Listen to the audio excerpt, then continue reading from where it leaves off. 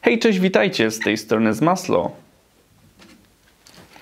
A dziś przed Wami recenzja Beat Boy Pocket Go.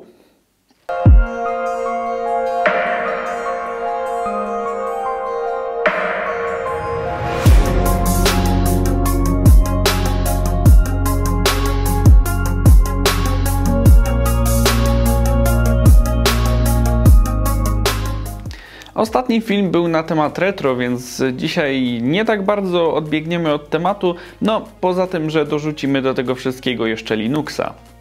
BeatBoy Pocket Go e, jest to taki gadżet, którego głównym zadaniem ma być uruchamianie gier ze starszych konsol czy starych PC-owych gier. I akurat to konkretne urządzenie ma pewne dwie cechy, które moim zdaniem e, znacznie wyróżniają go spośród konkurencji. Mianowicie po pierwsze i chyba najważniejsze jest to cena jesteśmy w stanie nabyć Pocket Go za 40 dolców, czyli jest to mniej więcej 150 zł. A drugim i nawet bardziej interesującym faktem jak dla mnie jest to, że ten konkretny sprzęcik używa systemu GNU Linux.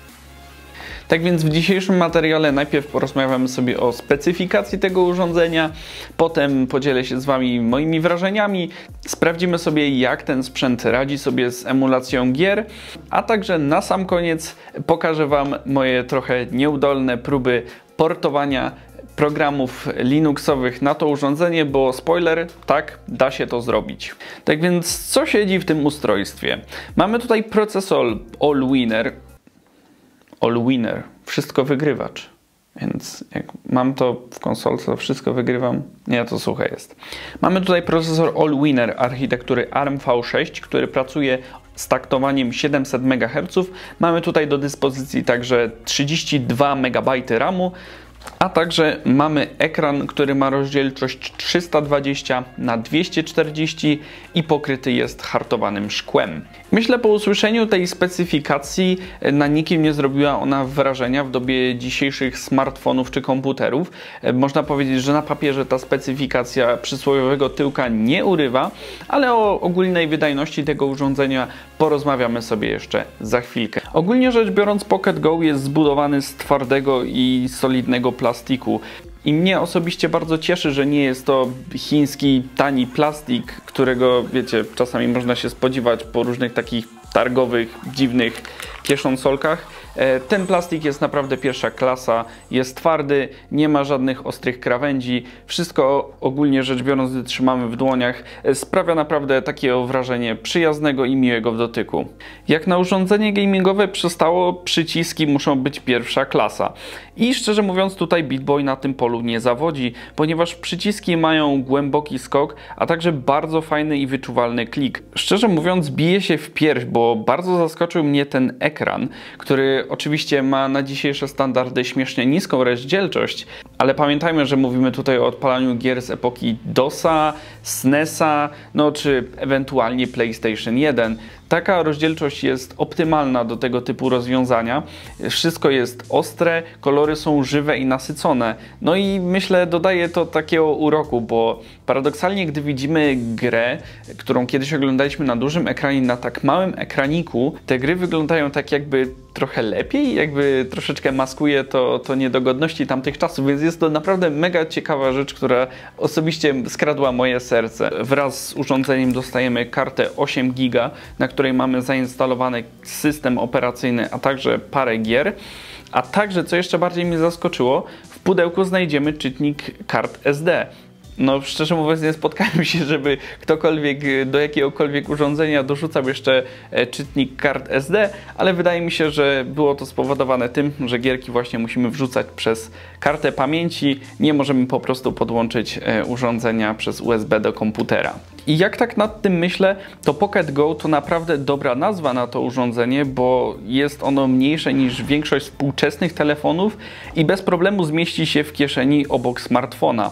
I jest w tym coś takiego niesamowitego, trochę magicznego, że możemy mieć takie malutkie urządzenie gdzieś ze sobą i w podróży spisuje się ono bardzo dobrze. Tak samo całkiem nieźle nada się w jakiejś przerwie w pracy, czy nawet na studiach między wykładami. Albo na wykładach, jak niektórzy wolą. No właśnie, pogadajmy sobie o tej emulacji.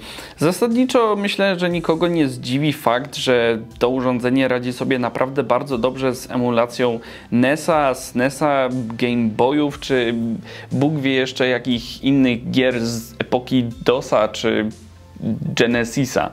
Co fajne, emulatory posiadają też zapis gry w dowolnym momencie. Myślę, nie jest to jakiś feature nowy, ale warto wspomnieć, że tutaj jest również obecny. Pojawia się więc pytanie, jak ten sprzęt radzi sobie z emulacją PlayStation 1? Krótko mówiąc, no słabo. Jeżeli gramy w grę dwuwymiarową, taką jak Lomax, możemy zauważyć, że nawet w tak prostej dwuwymiarowej grze zda się nieraz tak, że klatki są gubione.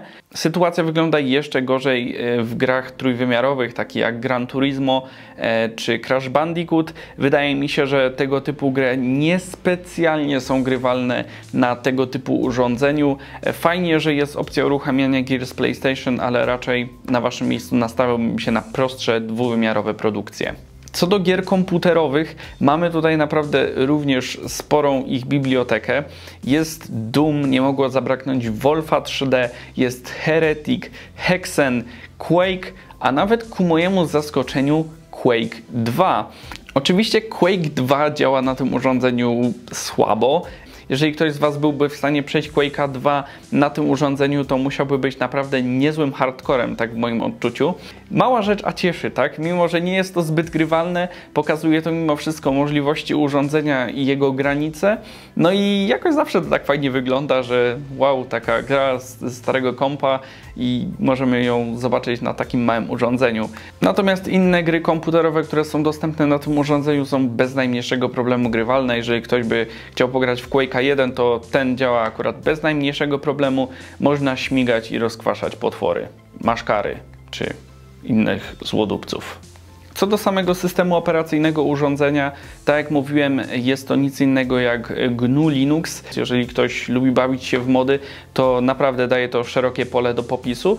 Na start mamy tutaj zainstalowanych kilka linuxowych programów, w tym mPlayer, popularny program do odpalania multimediów.